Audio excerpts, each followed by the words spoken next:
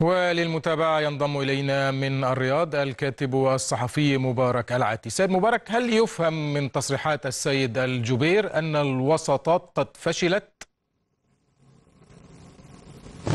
مساء الخير أخي أحمد ولأختي هبة ولكافة الأخوة المشاهدين أه كل الوساطات الحقيقة التي بذلت ما عدا الوساطة الكويتية حتى اللحظة أعتقد أنها أه أه فشلت. ممكن أن نقول فشلت لأنها لم يرى لم تريد تلك الوساطات حل الأزمة بقدر ما كانت تريد الدخول في الأزمة والإمساك بعصا الأزمة، لكن ما تراهن عليه دول الدول الأربع أنها هي تملك قرار الحل المرتبط بتنفيذ الدوحة لتلك المطالب.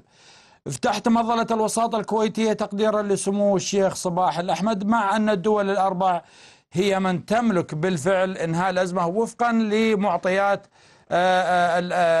أمنها وتحقيق قدر كافي من من من آمن الدول العربية ككل. نعم. لفت نظري لفت نظري في تصريح الوزير الجبير عندما قال أن الدول الأربع لا يضيرها لو استمرت الأزمة لعامين وهذا ما كنا نؤكد عليه منذ بداية الأزمة. لأن المأزوم الحقيقي هي هو قطر. هي هي المأزومة الحقيقية الأزمة أزمة قطرية بالفعل.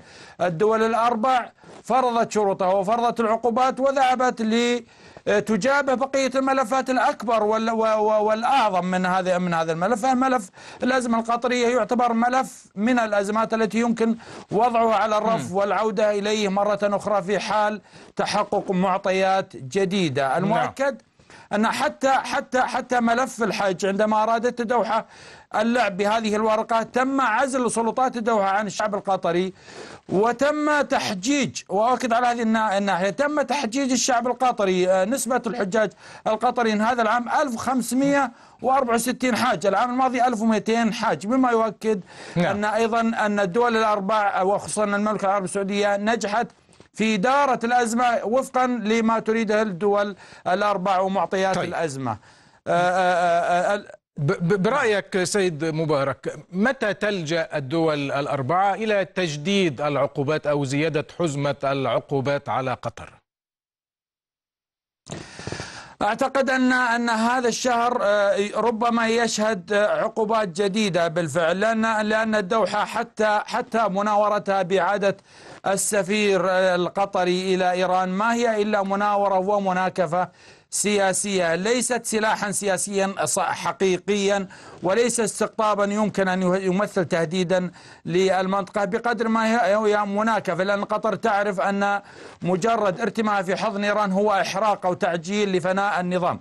لكن الدول الأربع أيضا تملك عقوبات خانقة أكثر مما فرض. لكنها تريد العمل على مراحل وتستخدم سياسة النفس الطويل لأن كما قلنا المأزوم الحقيقي هو هو قطر. حتى حتى ولو أعلنوا اليوم عن افتتاح ميناء حمد لكنه يأتي برغم معاناة الاقتصاد نعم. القطري وخنقه وتدهور الريال القطري.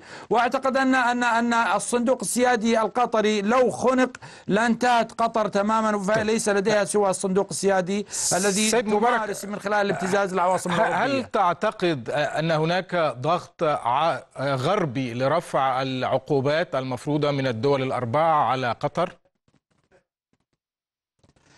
بلا شك كانت الدول الدول الأوروبية بأكملها كانت تريد مهادنة الطرفين أو إرضاء الطرفين لكن ذلك انكشف جليا خلال زيارتهم للعواصم الأربع سواء القاهرة أو الرياض أو أبو ظبي أو المنامة عندما أكدت الدول الأربع على صلابة موقفها وأنها لم تتزحزح عن ما كانت تطالب به منذ بداية الأزمة. الدول الأوروبية حتى الوزير الأمريكي وزير الخارجية الأمريكي وبما فيهم الوزير الروسي أيضا في زيارة الأخيرة كانوا يريدون كما قلت الدخول في الأزمة وإدارة الأزمة وليس حلها. إدارة الصراع وليس حل وليس حل الأزمة. مفاتيح الأزمة أؤكد على هذا الموضوع. مفاتيح الأزمة هي لدينا في الدول الأربع ونحن من يقرر متى ننهي الأزمة. إذا تحققت الأرضية الصلبة التي يمكن أن ينبني عليها مستقبل العمل مع مع دوحة في ظل في ظل.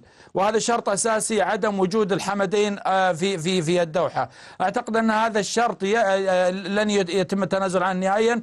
ويجب بالفعل تغيير سلوك النظام. إن أراد النظام أن يبقى يجب أن يغير سلوكه تماما حتى يتم احتواء احتضانه من جديد شكراً. في العمل العربي المشترك. شكرا سيد مبارك العاتي الكاتب الصحفي. كنت معنا من الرياض.